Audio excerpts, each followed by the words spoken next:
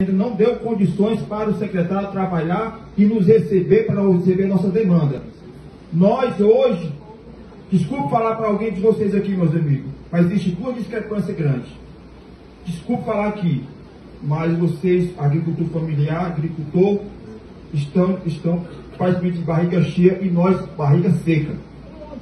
Porque a pesca artesanal não está sendo reconhecida de assim, por governo do Estado.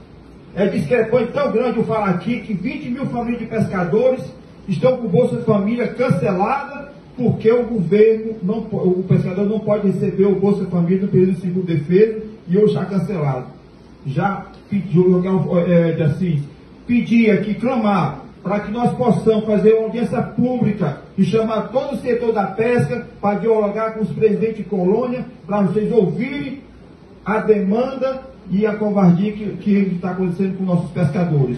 E dizer que nós, pescadores, contribuímos para que o Estado do Ceará seja um dos maiores produtores de pescado do Brasil.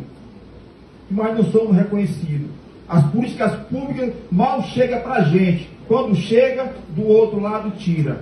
Que é a questão do Bolsa Família. Então é isso que eu quero dizer e pedir a ajuda dos secretários municipais, que lá tem pescador, e que se quiser organizar a colônia, pode me procurar que eu estarei para organizar, mesmo sem ajuda do governo, eu vou organizar. Tá bom? Muito obrigado.